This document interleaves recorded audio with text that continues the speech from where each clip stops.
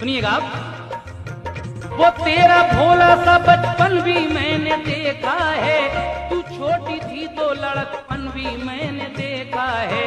पकड़ के उंगली तू पापा के साथ जाती थी।